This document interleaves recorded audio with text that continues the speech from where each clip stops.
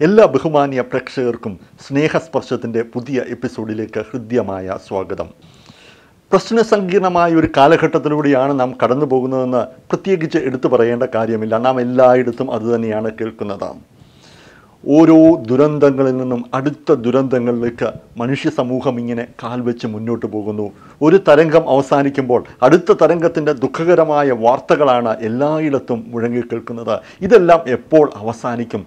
എന്തുകൊണ്ട് ദൈവം നിശബ്ദമായിരിക്കുന്നു? ദൈവം ഇത്തരം കാര്യങ്ങളിൽ എന്തുകൊണ്ട് ഇടപെടുന്നില്ല? ദൈവം എന്റെ കണ്ണുനീരിന് എന്തുകൊണ്ട് മറുപടി നൽകുന്നില്ല? ഇത്തരം ചോദ്യങ്ങളൊക്കെ നമ്മുടെ ജീവിതത്തിൽ ഉയർന്നു വന്നേക്കാം. പ്രിയമുള്ളവരെ അതിനൊക്കെ വ്യക്തമായ മറുപടി തിരുവചനം നൽകുന്നുണ്ട്. ഈ നിമിഷങ്ങളിൽ നാം ആ മറുപടികളിലേക്കാണ് പ്രവേശിക്കുന്നത്. നമുക്കറിയാം ഒരു പിഞ്ചു കുഞ്ഞ് ആദ്യം ഉച്ചരിക്കുന്നതും ഒരു വയോവൃദ്ധൻ ജീവിതത്തിൽ അവസാനമായി ഏറ്റുപറയുന്നതുമായ ദൈവവചന ഭാഗം ഏതാണെന്ന് ചോദിച്ചാൽ എല്ലാവരും നിസ്സംശയം മറുപടി നൽകും. അത് ഇരുപത്തിമൂന്നാം സങ്കീർത്തനമാണ്. ഒരു ഇടയനും ആ ഇടയന്റെ കൈക്കീഴിലെ ഒരു ആടും തമ്മിലുള്ള ഹൃദ്യമായ ബന്ധത്തെയാണ് ഇരുപത്തിമൂന്നാം സങ്കീർത്തനം വരച്ചു കാണിക്കുന്നത്. ദാവീദ് തന്റെ ജീവിതത്തിലെ ഏറ്റവും ആഴത്തിലുള്ള അനുഭവത്തിൽ നിന്നാണ് ഇരുപത്തിമൂന്നാം സങ്കീർത്തനം രചിച്ചിരിക്കുന്നത് എന്ന് നിസ്സംശയം പറയാൻ കഴിയും. തന്റെ ജീവിതത്തിൽ ദൈവം എത്ര ആർദ്രതയുള്ള ഒരു ഇടയനാണ് എന്ന് ദാവീദ് ഈ സങ്കീർത്തനത്തിൽ വരച്ചു കാണിക്കുന്നുണ്ട്. ദാവീദിനെ സംബന്ധിച്ച് ഇത് വ്യക്തിപരമായ ഒരു അനുഭവമാണ്. ഒരു ആടിനെ എങ്ങനെയാണ് കരുതുന്നതെന്ന് തന്റെ ജീവിതത്തിൽ ദാവീദ് മനസ്സിലാക്കിയിട്ടുണ്ട്. എന്നാൽ തന്റെ ജീവിതത്തിലെ പ്രതിസന്ധി ഘട്ടങ്ങളിൽ ഒരു ഇടയൻ എന്ന നിലയിൽ ദൈവം എങ്ങനെ ഇടപെട്ടു എന്ന് ഇരുപത്തിമൂന്നാം സങ്കീർത്തനത്തിൽ ദാവീദ് വരച്ചു കാണിക്കുന്നു. ദാവീദ് പറയുന്നു ഈ ദൈവം എന്റെ ഇടയനാണ്. യഹോവ എന്റെ ഇടയനാകുന്നു. വളരെ വ്യക്തിപരമായി. മറ്റാർക്കും അവകാശപ്പെടാൻ കഴിയാത്ത വിധം എന്റെ ജീവിതത്തിന്റെ ഒരു അനുഭവമാണിത് എന്ന് ദാവീദ് എടുത്തു പറയുന്നു. ഇത് മറ്റാരുടെയെങ്കിലും അനുഭവം ദാവീദ് പറയുന്നതല്ല. മറ്റാരിൽ നിന്നും കേട്ട കാര്യവുമല്ല. ദാവീദിന്റെ ജീവിതത്തിന്റെ വളരെ വ്യക്തിപരമായി ആഴത്തിൽ ഹൃദയത്തോട് ചേർന്ന് നിൽക്കുന്ന അനുഭവമാണ് ദൈവം എന്റെ ഇടയനാണ്. പ്രിയമുള്ളവരെ ഞങ്ങളെ ശ്രദ്ധിക്കുന്ന ബഹുമാന്യ പ്രേക്ഷകരെ നിങ്ങൾക്ക് ഈ ഒരു അനുഭവം നിങ്ങളുടെ ജീവിതത്തിൽ ഉണ്ടായിട്ടുണ്ടോ? ദൈവം എന്റെ ഇടയനാണ് എന്ന് വ്യക്തിപരമായി പറയുവാൻ നിങ്ങൾക്ക് സാധിക്കുന്നുണ്ടോ? യേശുക്രിസ്തുവിന്റെ അനുഗ്രഹീതമായ അവകാശവാദങ്ങളിലൊന്ന് വിശുദ്ധ ബൈബിളിൽ നമുക്ക് കാണാൻ കഴിയും. ഞാൻ നല്ല ഇടയൻ ആകുന്നു. യേശുക്രിസ്തു നല്ല ഇടയനാണെന്ന് പറയുക മാത്രമല്ല ചെയ്തത്. തന്റെ ജീവിതത്തിലൂടെ പ്രവൃത്തിയിലൂടെ അത് തെളിയിക്കാനിടയായി കർത്താവ് പറഞ്ഞു നൂറ് ആടുകളുണ്ടായിരുന്ന ഒരിടയന്റെ കാര്യം. തന്റെ ഒരാട് നഷ്ടമായി പോയപ്പോൾ ഒരാടിനെ കാണാതെ പോയപ്പോൾ തൊണ്ണൂറ്റി ഒൻപതിനെയും മാറ്റി നിർത്തി നഷ്ടപ്പെട്ടു പോയ ഒരാടിനെ അന്വേഷിച്ചു പോയ ഇടയൻ പ്രിയമുള്ളവരെ ആ ഇടയനെ നമുക്ക് കാണാൻ കഴിയുന്നത് കാൽവറിയിലെ ക്രൂശിലാണ്. കാൽക്കരങ്ങൾ ആണികൾക്കായിട്ട് ഏൽപ്പിച്ചു കൊടുത്ത. കർത്താവ് ക്രൂശിൽ തൂങ്ങിക്കിടക്കുമ്പോൾ പറയുന്നൊരു യാഥാർത്ഥ്യമുണ്ട്. ഞാൻ നിന്നെ അന്വേഷിച്ചാണ് വന്നത്. സ്വർഗീയ സിംഹാസനം ഉപേക്ഷിച്ച് ദൂതന്മാരുടെ ആരാധന വേണ്ടെന്ന് വെച്ച് യേശുക്രിസ്തു ക്രൂശോളം താണത് നമ്മെ അന്വേഷിച്ചാണ്. തന്റെ കാൽകരങ്ങൾ ആണികൾക്കായി തുളയ്ക്കാൻ ഏൽപ്പിച്ചു കൊടുത്തത് നമ്മെ അന്വേഷിച്ചത് കൊണ്ടാണ്. തന്റെ ശിരസ് മുതൽ പാദം വരെ ആപാദചൂടം രക്തത്താൽ നിറയപ്പെട്ടത് നമ്മെ അന്വേഷിച്ചത് കൊണ്ടാണ്. പ്രിയ സ്നേഹിതരെ നമുക്ക് വേണ്ടിയാണ് അവിടുന്ന് പ്രാണവേദന അനുഭവിച്ചത്. ഈ നിമിഷങ്ങളിൽ നിങ്ങളുടെ ജീവിതത്തിൽ തിരിച്ചറിയേണ്ട യാഥാർത്ഥ്യം ഇതുതന്നെയാണ് യേശുക്രിസ്തു നമ്മെ അന്വേഷിച്ചാണ് വന്നത്. കർത്താവ് പറഞ്ഞു ഞാൻ നല്ല ഇടയനാകുന്നു. നല്ല ഇടയൻ തന്റെ ആടുകൾക്ക് വേണ്ടി ജീവനെ കൊടുക്കുന്നവനാണ്. തന്റെ ജീവൻ വെച്ച് തന്ന് നമ്മെ സ്നേഹിച്ച സ്നേഹം തന്റെ ജീവരക്തം ഊറ്റിത്തന്ന് തന്റെ ആടുകളെ വീണ്ടെടുത്ത സ്നേഹം. ആ സ്നേഹത്തെ കാൽവറിയിലെ ക്രൂശിൽ നിങ്ങൾക്ക് കാണാൻ കഴിയണം. ആ സ്നേഹത്തിന്റെ അരികിലേക്ക് ചെന്ന് ഒരു കാര്യം സമ്മതിക്കാൻ കഴിയണം. കർത്താവ യേശുവെ ഞാൻ നഷ്ടപ്പെട്ടു പോയ ഒരു പാപിയാണ്. വഴിതെറ്റിപ്പോയ ഒരു ആടിനെ പോലെ ഞാൻ അങ്ങയിൽ നിന്ന് അകന്നു പോയതാണ്. അങ്ങ് എന്റെ പാപത്തിന്റെ പരിഹാരത്തിന് വേണ്ടിയാണ് കാൽവറിയിലെ ക്രൂശിൽ മരിച്ചതെന്ന് ഞാൻ വിശ്വസിക്കുന്നു. അങ്ങയെ എന്റെ ജീവിതത്തിന്റെ രക്ഷകനും കർത്താവുമായി സ്വീകരിക്കുന്നു. ഇങ്ങനെ നിങ്ങൾ പ്രാർത്ഥിച്ചിട്ടുണ്ടെങ്കിൽ നിങ്ങളുടെ ജീവിതത്തിന്റെ നിയന്ത്രണ അധികാരം നിങ്ങളുടെ ജീവിതത്തിന് ഇടയനായി യേശുക്രിസ്തു മാറും. അപ്പോൾ നിങ്ങൾക്കും സന്തോഷത്തോടെ പറയാൻ കഴിയും യഹോവ എന്റെ ഇടയനാണ്. അങ്ങനെ ദൈവം ഒരു ഇടയനായി തീർന്നിരിക്കുന്നതിന്റെ അനുഗ്രഹീതമായ പ്രത്യേകതകൾ ഈ സങ്കീർത്തനത്തിൽ ഇരുപത്തിമൂന്നാം സങ്കീർത്തനത്തിന്റെ അടുത്ത വാക്യങ്ങളിൽ ദാവീദ് വരച്ചു കാണിക്കുന്നുണ്ട്. ഒന്നാമതായി ദാവീദ് പറയുന്നു ഈ ഇടയൻ എന്നെ പച്ചയായ പുൽപ്പുറങ്ങളിൽ കിടത്തുന്നവനാണ്. പ്രിയമുള്ളവരെ ഏറ്റവും അനുഗ്രഹീതമായ ഏറ്റവും ആശ്വാസകരമായ ഒരു അനുഭവത്തിലേക്കാണ് ഈ ഇടയൻ നയിക്കുന്നത്. മാത്രമല്ല പച്ചയായ പുൽപ്പുറങ്ങൾ മാത്രമല്ല കേട്ടോ വായിക്കുന്നത് സ്വസ്ഥതയുള്ള വെള്ളത്തിനരികത്തേക്ക് ഈ ഇടയൻ നടത്തുന്ന ഇടയനാണ്. സ്വച്ഛജലത്തിന്റെ അരികിലേക്ക് ശാന്തമായ അനുഗ്രഹീതമായ യാതൊരു പ്രതിസന്ധികളുമില്ലാത്ത യാതൊരു വെല്ലുവിളികളുമില്ലാത്ത ഇടയന്റെ കരുതലിന്റെ സ്പർശമറിയുന്ന ഇടങ്ങളിലേക്ക് നയിക്കുന്ന ഇടയൻ പച്ചയായ പുൽപ്പുറങ്ങൾ ഒരാടിനെ സംബന്ധിച്ച് എന്തുമാത്രം ആശ്വാസമാണ് എന്തുമാത്രം സന്തോഷമാണ് എന്ത് സംതൃപ്തിയാണ് നൽകുന്നത്. മാത്രമല്ല സ്വസ്ഥതയുള്ള വെള്ളം ആടിനെ സംബന്ധിച്ച് ഏറ്റവും പ്രാധാന്യമർഹിക്കുന്നതാണ്. ഒരു ശത്രുവിന്റെയും ശബ്ദം കേൾക്കാനില്ലാത്ത ഏറ്റവും അനുഗ്രഹീതമായ ഹൃദ്യമായ അനുഭവം. മാത്രമല്ല അവിടെ നിന്ന് അടുത്ത ഘട്ടത്തിലേക്ക് വരുന്നു. ഈ ആടിനോട് ഇടയൻ ഏറ്റവും വ്യക്തിപരമായി ഇടപെടുന്നു. എന്റെ പ്രാണനെ തണുപ്പിക്കുന്നു. ആടെ ഭയപ്പെടേണ്ട എന്ന് പറയുന്ന ആടിനെ സന്തോഷകരമായി ചേർത്തണയ്ക്കുന്ന ഹൃദ്യമായ അനുഭവം മാത്രമല്ല ഈ ആടിനെ എന്തു ചെയ്യുന്നു? തിരുനാമനിമിത്തം എന്നെ നീതിപാതകളിൽ നടത്തുന്നു. പ്രിയമുള്ളവരെ നാം അവിടെ കാണുന്ന അനുഗ്രഹീതമായ മറ്റൊരു യാഥാർത്ഥ്യം നീതിപാതകളിലൂടെ നയിക്കുന്ന നല്ല ഇടയൻ. എത്ര അനുഗ്രഹീതമായ ഒരു അനുഭവമാണിത്. പച്ചയായ പുൽപ്പുറങ്ങൾ സ്വസ്ഥതയുള്ള വെള്ളം പ്രാണനെ തണുപ്പിക്കുന്ന അനുഭവം നീതിപാതകളിലൂടെ നടത്തുന്ന ഹൃദ്യമായ അനുഭവം. ആടിനെ സംബന്ധിച്ച് ആർത്തുല്ലസിക്കുവാൻ സന്തോഷിക്കുവാൻ ഇടയനോട് നന്ദി പറയുവാൻ എന്തുമാത്രം അനുഭവങ്ങളാണുള്ളത് അല്ലേ മുന്നോട്ട് ഈ ഇടയനും ആടും യാത്ര ചെയ്ത് ഇങ്ങനെ പോകുമ്പോൾ അല്പം കഴിഞ്ഞപ്പോൾ പാത അല്പം പരിപരുത്തതായി മാറി. കല്ലും മുള്ളും നിറഞ്ഞ വഴികളിലേക്ക് ഈ ഇടയൻ നയിച്ചു. ആട് വിചാരിച്ചു അല്പദൂരമല്ലേ സാരമില്ല എന്ന് വിചാരിച്ച് കാണും. അല്പം കൂടി മുന്നോട്ട് ചെന്നപ്പോൾ ഈ ആട് കാണുന്ന കാഴ്ച എന്താണെന്നറിയാമോ? കൂരിരുൾ താഴ്വരയിലേക്ക് ഈ ആടും ഇടയനും പ്രവേശിക്കുകയാണ്. ഓ എത്ര പച്ചയായ പുൽപ്പുറങ്ങൾ കിടക്കുമ്പോൾ എത്ര സ്വസ്ഥതയുള്ള വെള്ളം കിടക്കുമ്പോൾ എത്ര പ്രാണനെ തണുപ്പിക്കുന്ന ആശ്വസിപ്പിക്കുന്ന നീതിപാതകൾ കിടക്കുമ്പോൾ എന്തിനാണിടയാ എന്നെ ഈ കൂരിരുൾ താഴ്വരയിലേക്ക്? നമ്മോട് വായിക്കുന്നത് മരണ നിഴൽ താഴ്വര എന്നാണ് അതിന്റെ മറ്റൊരർത്ഥം. എന്തിനാണ് ഇടയാ എന്നെ ഈ മരണനിഴൽ താഴ്വരയിലേക്ക് ഈ കൂരിരുട്ടിന്റെ അനുഭവത്തിലേക്ക് കൊണ്ടുവന്നത്? കൂരിരുൾ താഴ്വരയിൽ മൂന്ന് തലത്തിലുള്ള അപകടങ്ങൾ ഒരാടിനെ കാത്തിരിക്കുന്നുണ്ട്. ഒന്നാമതായി നാം മനസ്സിലാക്കേണ്ടത് ഈ താഴ്വരയിലൂടെയുള്ള യാത്ര വളരെ ചെറിയ വളരെ ഇടുങ്ങിയ ഒരു വഴിയിലൂടെയുള്ള യാത്രയാണ്.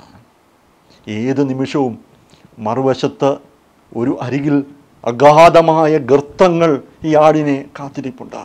കാലൊന്ന് പിഴച്ചാൽ ഒരു നിമിഷമൊന്ന് മാറിപ്പോയാൽ ആ ആടിനെ കാത്തിരിക്കുന്നത് അഗാധമായ ഗർത്തമാണ് അതിന്റെ അവസാനമാണ്. മാത്രമല്ല മറ്റൊരു പ്രതികൂലം കൂടി ആടിനെ കാത്തിരിപ്പുണ്ട്. അത് പ്രകൃതിക്ഷോഭങ്ങളാണ് കോരിച്ചൊരിയുന്ന മഴയുണ്ടാകാം.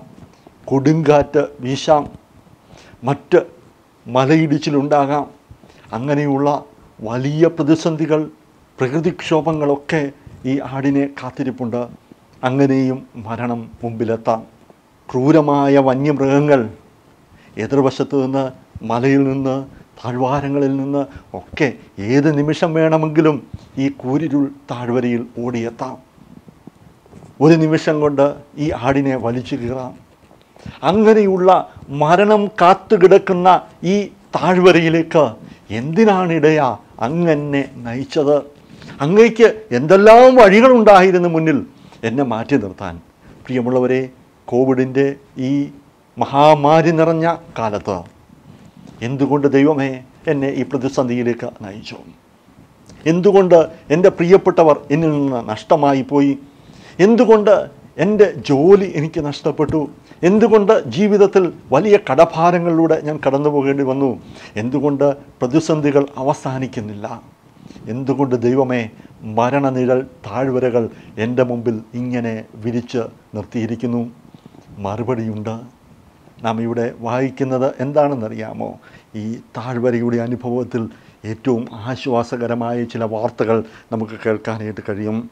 അവിടെ ദാവീദ് പറയുന്ന അനുഗ്രഹീതമായൊരു യാഥാർത്ഥ്യമുണ്ട്. ഇങ്ങനെ മൂന്ന് തരത്തിലുള്ള അനർത്ഥങ്ങൾ എന്നെ കാത്തിരിക്കുന്നുണ്ടെങ്കിലും ഈ ഇടയന്റെ കൈക്കീഴിലെ ആടായതുകൊണ്ട് ഞാൻ ഒരു ഭയപ്പെടുകയില്ല. മരണനിഴൽ താഴ്വരയായിക്കൊള്ളട്ടെ. അനർത്ഥങ്ങൾ മുന്നിൽ വന്നോട്ടെ. ഞാൻ ഭയപ്പെടത്തില്ല. കാരണം എന്താണെന്നറിയാമോ? ആ ആടിന് ആശ്വാസം പകരുന്ന ഏറ്റവും അനുഗ്രഹീതമായ യാഥാർത്ഥ്യം നീ എന്നോട് കൂടെ ഇരിക്കുന്നുവല്ലോ. പ്രിയമുള്ളവരെ മരണനിഴൽ താഴ്വര വരുമ്പോൾ ഉപേക്ഷിച്ചു പോകുന്ന ഒരു ഇടയനെ അല്ല നാം സേവിക്കുന്നത്. ജീവിതത്തിന്റെ ഏത് പരിപരുത്ത ഏത് കഠിനമായ ഏത് പ്രതിസന്ധി നിറഞ്ഞ നിമിഷങ്ങളിലൂടെ നാം കടന്നു പോകേണ്ടി വന്നാലും ആ നിമിഷങ്ങളിലെല്ലാം കൂടെ ഇരിക്കാം എന്ന് പറഞ്ഞ കർത്താവ് മരണം മുമ്പിലെത്തുന്ന നിമിഷത്തിൽ ഒരുപക്ഷെ നമ്മുടെ ഉറ്റവർക്ക് ആർക്കും നമ്മുടെ കൂടെ ഇരിക്കാനായിട്ട് കഴിയത്തില്ലായിരിക്കാം. എന്നാൽ ആ നിമിഷങ്ങളിലും ആശ്വസിപ്പിക്കുന്ന ഒരു മൃദുസ്വരം കാതിൽ മുഴങ്ങും ഞാൻ നിന്നോട് കൂടെയുണ്ട്. ഭയപ്പെടേണ്ട ഞാൻ നിന്നോട് കൂടെയുണ്ട്. ഭ്രമിച്ചു നോക്കേണ്ട ഞാൻ നിന്റെ ദൈവം ആകുന്നു. അനുഗ്രഹീതമായ യാഥാർത്ഥ്യം. എന്തുകൊണ്ട് ഈ കൂരിരുൾ താഴ്വരയിലൂടെ എന്തുകൊണ്ട് ഈ മരണനിഴൽ താഴ്വരയിലൂടെ കടന്നു പോകുന്നു ഏറ്റവും പ്രസക്തമായ മറുപടി എന്താണെന്നറിയാമോ? ദൈവ സാന്നിധ്യം ഏറ്റവും ഹൃദ്യമായിട്ട് നമുക്ക് അനുഭവിക്കാൻ കഴിയുന്നത് ഇത്തരം കൂരിരുൾ താഴ്വരകളിലാണ്. ഇത്തരം മരണം നിഴൽ വിരിച്ചു നിൽക്കുന്ന നിമിഷങ്ങളിലാണ് ദൈവസാന്നിധ്യം ഏറ്റവും ഹൃദ്യമായി അനുഭവിക്കാൻ കഴിയുന്നത്. ദൈവത്തിന്റെ മൃദുസ്വരം നമ്മുടെ കാതുകളിൽ ആവർത്തിച്ചാവർത്തിച്ച് ആവർത്തിച്ച് മുഴങ്ങുന്നത് അത്തരം നിമിഷങ്ങളിലാണ്. ഞാൻ നിന്നോട് കൂടെയുണ്ട്. നീ തനിച്ചല്ല കുഞ്ഞേ. നീ ഭയപ്പെടേണ്ട കാര്യമില്ല. നിന്റെ കൂടെ ഞാനുണ്ട്. മാത്രമല്ല അങ്ങനെ കൂടെ ഇരിക്കും എന്ന് മാത്രമല്ല വടിയും കോലും എന്നെ ആശ്വസിപ്പിക്കുന്നു. ഓ ആ ഇടയന്റെ വടിയും ഇടയന്റെ കോലും കാണുമ്പോൾ ആ ആടിന്റെ ഹൃദയത്തിന് എന്തെല്ലാം ആശ്വാസമുണ്ടെന്നറിയാമോ? ഇത് രണ്ടും വലിയ കരുതലിന്റെ സുരക്ഷിതത്വത്തിന്റെ അടയാളങ്ങളാണ്. ക്രൂരമായ മൃഗങ്ങൾ മുന്നിൽ വന്ന് ആക്രമിച്ചാൽ ആ ഇടയന്റെ വടി അതിനെ തടയുന്നതാണ്. മാത്രമല്ല നമുക്കറിയാം ഈ ആടിന് മുന്നോട്ടുള്ള യാത്രയിൽ എന്തെല്ലാം വേണോ അതെല്ലാം കരുതി കൊടുക്കുന്നത് ഈ ഇടയന്റെ വടിയും കോലും ആണ് ആട് നീ ഭയപ്പെടേണ്ട കേട്ടോ. നിന്റെ മുമ്പിൽ ആക്രമിക്കാൻ വരുന്നത് എത്ര ക്രൂരമായ മൃഗങ്ങളായിക്കൊള്ളട്ടെ. ഞാൻ നിന്നോട് കൂടെ നീ ഭയപ്പെടേണ്ട കാര്യമില്ല. പ്രതിരോധം എന്റേതാണ് അബ്രഹാമിനോട് ദൈവം പറഞ്ഞു അബ്രഹാമെ ഭയപ്പെടേണ്ട. ഞാൻ നിന്റെ പരിചയം. ഞാൻ നിന്റെ അതിമഹത്തായ പ്രതിഫലവുമാണ്. പ്രിയമുള്ളവരെ നമ്മുടെ പരിച ദൈവമാണ്. എല്ലാ പ്രതിസന്ധികളിൽ നിന്നും എല്ലാ വെല്ലുവിളികളിൽ നിന്നും ദൈവത്തിന് നമ്മെ വിടുവിക്കാൻ കഴിയും. ഇങ്ങനെ ഈ മരണനിഴൽ താഴ്വരയിലൂടെ യാത്ര ചെയ്ത് മുന്നോട്ട് ചെന്നാൽ എന്താണ് കാണാൻ കഴിയുന്നത്? അത്ഭുതകരമായൊരു കാഴ്ച ഈ മരണനിഴൽ താഴ്വരകൾക്കപ്പുറത്ത് കാത്തിരിക്കുന്നുണ്ട്. നാം അതാണ് തുടർന്ന് വായിക്കുന്നത്. അവിടെ അങ്ങനെ യാത്ര ചെയ്ത് ചെന്നെത്തുന്നത് എങ്ങോട്ടാണെന്നറിയാമോ? എന്റെ ശത്രുക്കൾ കാണുക നീ എനിക്ക് വിരുന്നൊരുക്കുന്നു പ്രിയമുള്ളവരെ ഇങ്ങനെ ദുർഘടമായ പരിപരുത്ത മരണം നിഴൽ വിരിച്ചു നിൽക്കുന്ന ഏറ്റവും കഠിനമായ പാതയിലൂടെ ഈ ആടും ഇടയിലൂടെ യാത്ര ചെയ്തെത്തുന്നത് ഒരു വിരുന്നുശാലയിലേക്കാണ്. വിരുന്ന് വലിയ സന്തോഷത്തിന്റെ വലിയ സംതൃപ്തിയുടെ അടയാളമാണ്. പച്ചയായ പുൽപ്പുറങ്ങളിൽ മാത്രം നീ കിടന്നാൽ പോരാ കേട്ടോ. സ്വസ്ഥതയുള്ള വെള്ളത്തിന്റെ അരികത്ത് മാത്രം നീ ഇരുന്നാൽ പോരാ. നീതിപാതകളിലൂടെ മാത്രം നീ സഞ്ചരിച്ചാൽ പോരാ. നിന്നെ കാത്തിരിക്കുന്ന വലിയൊരു വിരുന്നുണ്ട്. ആ വിരുന്നുശാലയിലേക്ക് അവൻ നമ്മെ കൂട്ടിക്കൊണ്ടു ചെന്നു. അവൻ നമ്മുടെ മീത പിടിച്ച കൊടി സ്നേഹത്തിന്റെതായിരുന്നു. നമുക്ക് ദൈവത്തെ നന്ദിയോടെ സ്തുതിക്കാം. മാത്രമല്ല ഇവിടെ കാണുന്ന മറ്റൊരു പ്രത്യേകമായ പദപ്രയോഗമുണ്ട്. ശത്രുക്കൾ കാണുക എന്നാണ്. എന്താ ഇതുകൊണ്ട് അർത്ഥമാക്കുന്നതെന്നറിയാമോ? ഈ മരണനിഴൽ താഴ്വരയിലൂടെ നമ്മൾ കടന്നു പോകുമ്പോൾ ശത്രു അപ്പുറത്ത് നിന്ന് പരിഹസിക്കും അവൻ വെല്ലുവിളിക്കും അവൻ പറയും കഥയെല്ലാം ഇവിടം കൊണ്ട് അവസാനിച്ചെന്ന് കാര്യങ്ങളെല്ലാം ഇവിടം കൊണ്ട് തീർന്നെന്ന്. എന്നാൽ കുഞ്ഞെ ഭയപ്പെടേണ്ട കേട്ടോ മുന്നോട്ട് ചെല്ലുമ്പോൾ ഈ ശത്രുക്കളെല്ലാം ലജ്ജിച്ച് തല താഴ്ത്തി നിൽക്കുമ്പോൾ അവരുടെ മുൻപാകെ വിരുന്നൊരുക്കുന്ന ഒരു ദൈവം ജീവിക്കുന്നുണ്ട്. അതാണ് ഒന്നാമത്തെ പ്രത്യേകത. മാത്രമല്ല നാം ഇവിടെ വായിക്കുന്നത് എന്റെ തലയെ എണ്ണ കൊണ്ട് അഭിഷേകം ചെയ്യുന്നു. അനുഗ്രഹീതമായ ഒരു അഭിഷേകത്തിന്റെ ഒരു പുതിയ ദൗത്യത്തിന്റെ ഒരു ചെറിയ ദൗത്യമൊന്നുമല്ല കേട്ടോ. ദൈവത്താൽ അഭിഷേകം ചെയ്യപ്പെടുന്ന അനുഗ്രഹീതമായ ദൗത്യത്തിന്റെ ഒരു രാജകീയ ദൗത്യത്തിന്റെ ഭാഗമായി ആടുയർത്തപ്പെടുകയാണ്.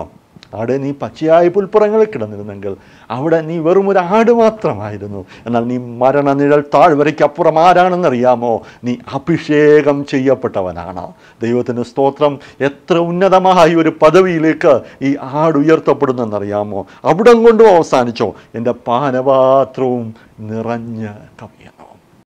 ഓ നിറഞ്ഞു കവിയുന്ന അനുഗ്രഹീതമായ അവസ്ഥ. സംതൃപ്തിയുടെ കവിഞ്ഞൊഴുക്കിലേക്ക് ഈ ആടിനെ ഇടയൻ നയിക്കുകയാണ്. അവിടം കൊണ്ടും തീർന്നില്ല. അടുത്തതായി നന്മയും കരുണയും എന്റെ ആയുഷ്കാലമൊക്കെയും എന്നെ പിന്തുടരും. ഈ ഇടയന്റെ പിന്നാലെ കൂരിരുൾ താഴ്വരയിലൂടെ പോയാൽ ഇടയന്റെ മുഴുവൻ നന്മയും കരുണയും ഈ ആട് അടുത്തറിയും പ്രിയമുള്ളവരെ ദൈവത്തെ സ്നേഹിക്കുന്നവർക്ക് നിർണയപ്രകാരം വിളിക്കപ്പെട്ടവർക്ക് സകലവും നന്മയ്ക്കായിട്ട് കൂടി വ്യാപരിക്കുന്നു. ഈ സകലവും എന്നതിന്റെ അകത്ത് മരണനിഴൽ താഴ്വരകളുണ്ട്. ഈ സകലവും എന്നതിന്റെ അകത്ത് നിന്റെ എല്ലാ പ്രതിസന്ധികളുമുണ്ട് ഈ സകലവും എന്നതിന്റെ അകത്ത് നീ നേരിടുന്ന മഹാമാരിയുടെ സകല വെല്ലുവിളികളുമുണ്ട്. നന്മയും കരുണയും ഈ ആട് അനുഭവിക്കുകയാണ്. എത്ര ഹൃദ്യമായ അനുഭവം. ദൈവത്തിന്റെ നന്മകളുടെ നിറവിലേക്ക് ഈ ആട് പ്രവേശിക്കുകയാണ്. ദൈവ കരുണയുടെ വലിപ്പമെന്താണെന്ന് ദൈവ കരുണയുടെ ധനമാഹാത്മ്യം എന്താണെന്ന് ഈ ആടടുത്തറിഞ്ഞ് ആഴത്തിൽ അനുഭവിക്കുകയാണ്. സർവത്തിനുമുപരി ഈ ആട് അനുഭവിക്കുന്ന അനുഗ്രഹീതമായ സവിശേഷത എന്താണെന്ന് അറിയാമോ? ഞാൻ ഹോവയുടെ ആലയത്തിൽ ദീർഘകാലം വസിക്കും.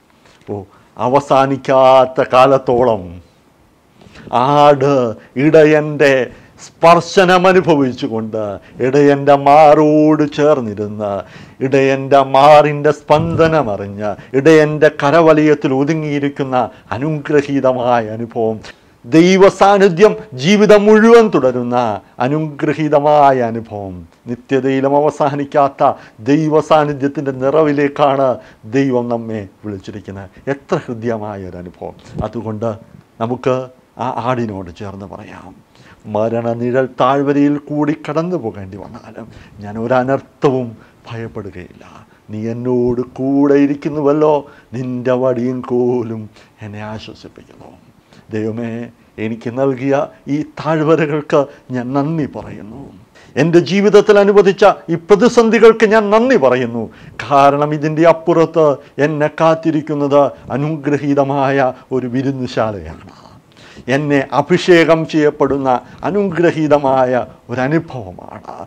നിറഞ്ഞു കവിയുന്ന പാനപാത്രത്തിന്റെ രുചിയാണ് ഞാൻ അനുഭവിക്കാൻ പോകുന്നത്. നന്മയും കരുണയുമാണ് എന്നെ പിന്തുടരുന്നത്. ഒരിക്കലും അവസാനിക്കാത്ത ദൈവ സാന്നിധ്യത്തിലേക്കാണ് ഞാൻ പ്രവേശിക്കുന്നത്.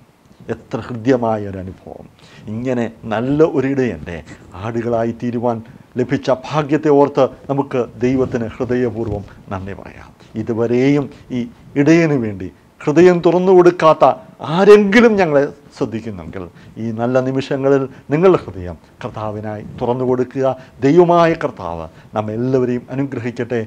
ദൈവനാമം മാത്രം മഹത്വപ്പെടട്ടെ.